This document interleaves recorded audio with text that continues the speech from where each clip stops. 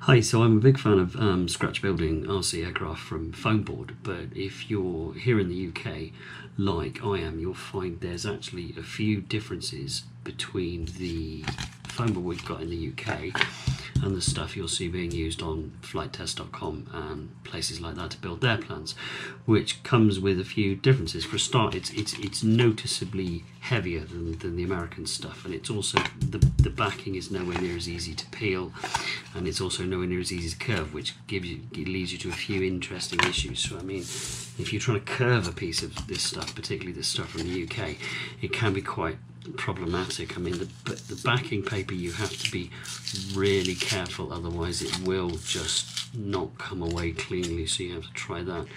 and do it from both ends and really just work it off nice and slowly. And don't try and rush it, and you can get it off. You should get most of the way down, and then come back to the other end.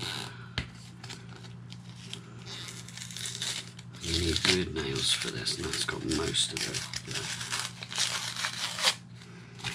And there we go. So you see, that's nowhere near as clean as you'll have seen in the US. Now, in, in terms of curving this, now the standard technique is to press all the way along with your thumbs like this from top to bottom.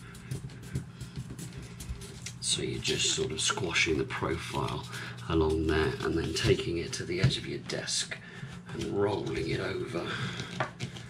Nice and slowly you can just sort of start to make that curve.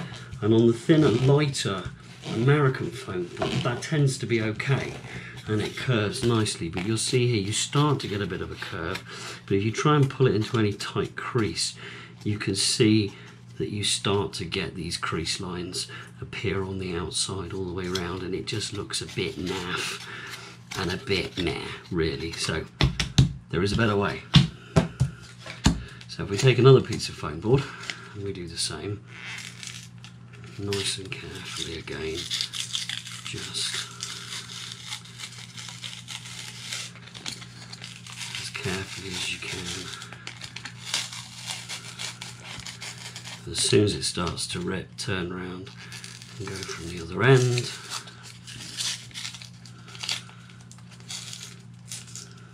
Go down the edge.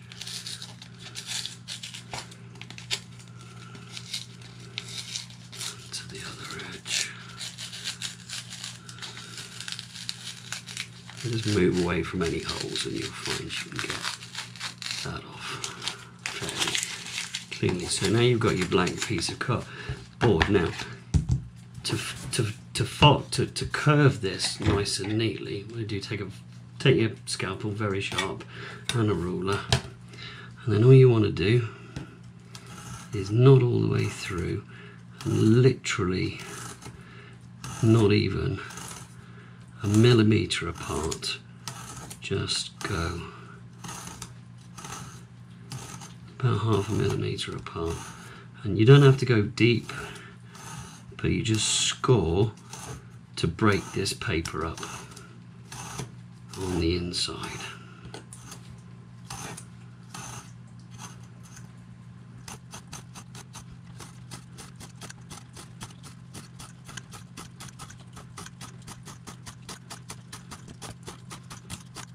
And what you'll find where you've scored it, it now becomes very mushy. You've taken away an awful lot of the support out of that just by cutting up that inside paper. That's gone very squishy compared to the other side, which even with the inside paper removed is still pretty solid.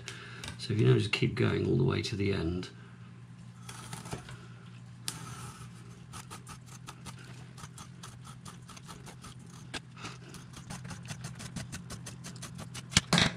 And when you get to the very end, just squash it again all the way with your thumbs just to give it a squish.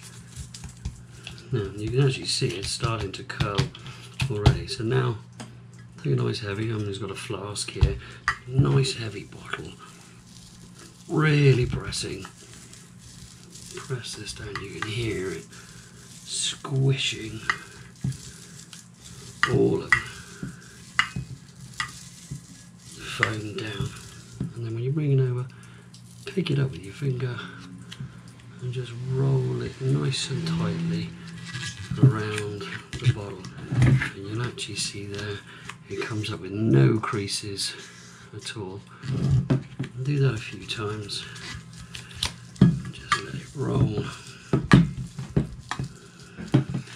So now if you've got a part, like this one here, which has got a nice curved surface on it, this will now actually curl round straight around the top with no visible creases on the outside. Thanks for watching.